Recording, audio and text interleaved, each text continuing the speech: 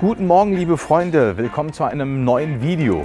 Das Wetter ist schlecht. Es regnet, es ist grau und ungemütlich. Aber wir, wir machen es uns gemütlich hier in der Werkstatt. Und zwar möchte ich euch mal etwas über die letzten Tage erzählen, was denn hier passiert ist.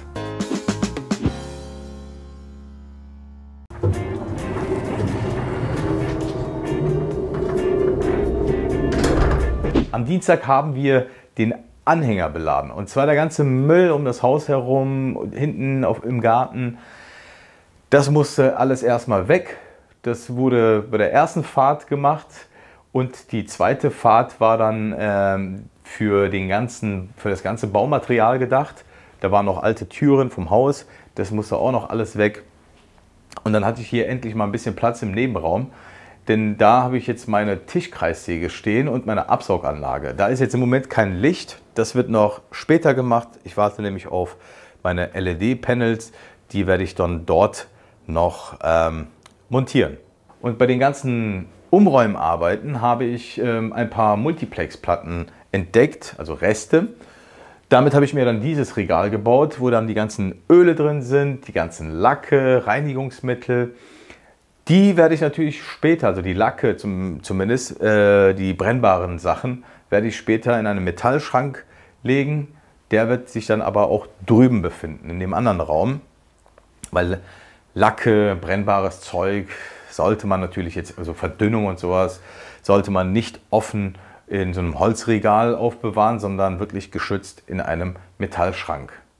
Das Regal kennt ihr noch aus meiner alten Werkstatt. Das habe ich ein bisschen modifiziert. Hier habe ich noch so, so Zwischenböden reingesetzt, verschraubt, verleimt und meine ganzen Schrauben drin äh, verstaut. Das sind jetzt nicht viele, es sind aber noch einige hinzugekommen. Dafür werde ich auch noch so kleine Kisten bauen, beschriften und dann dort reinlegen. In der Schublade befinden sich auch noch einige Schrauben, Torx-Schrauben und dann die Crack-Schrauben, also hier für Pocket Holes. Die habe ich jetzt auch noch hier äh, in die Schublade reingelegt. Die brauche ich jetzt nicht immer, aber es ist schön, dass die ordentlich und sortiert hier in der Schublade gelagert sind. Diese schwarzen Kisten, die habe ich mir mal rausgesucht und der liebe Robert von Neue Werkstatt hat mir die aus meiner Amazon-Wunschliste zukommen lassen. Auch das Regal zum Beispiel gehört zu dem Set da sind diese kleinen roten Kisten dabei mit der Kunststoffhalterung, Wand. Das werde ich natürlich ersetzen durch, eine, ja, durch ein schönes Holzregal. Passt genau für diese kleinen Boxen. Sieht meiner Meinung nach schöner aus in einer Holzwerkstatt. Und wenn man schon mal aufräumt, sortiert, dann sollte man das natürlich auch mit den Werkzeugen machen, wie zum Beispiel meine Schraubendreher, mein Schreibzeug, meine Messmittel, und hier sehen, seht ihr dann noch meine ganzen Zangen.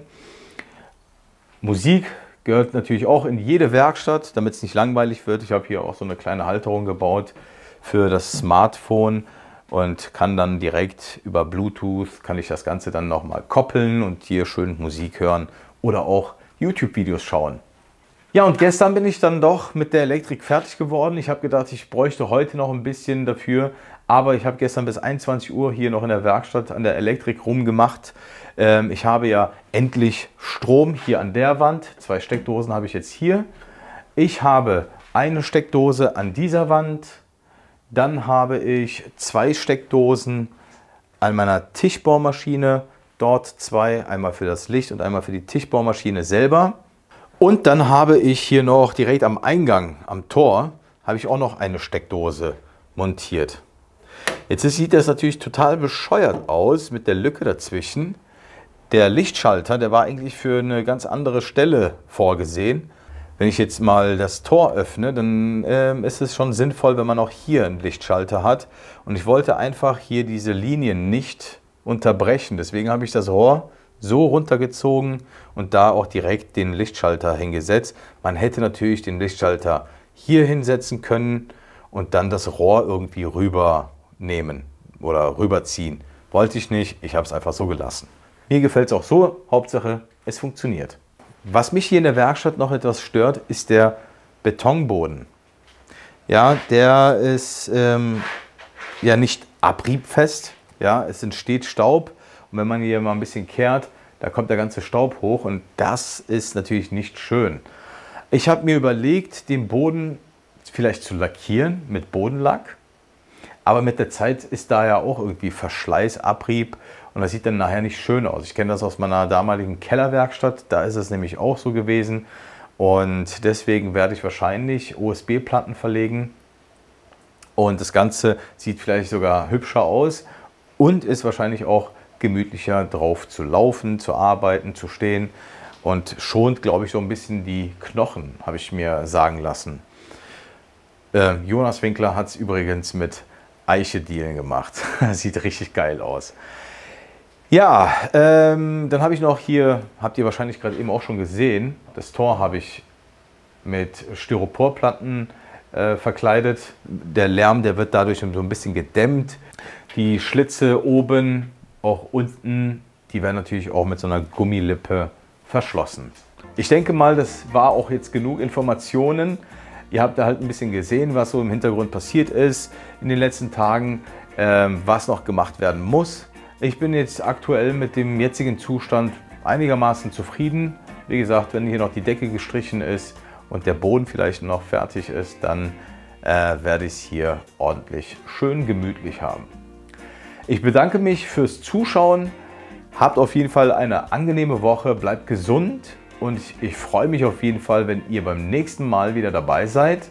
Vergisst bitte nicht zu abonnieren und Kommentare schreiben liken, Daumen hoch oder auch runter von mir aus.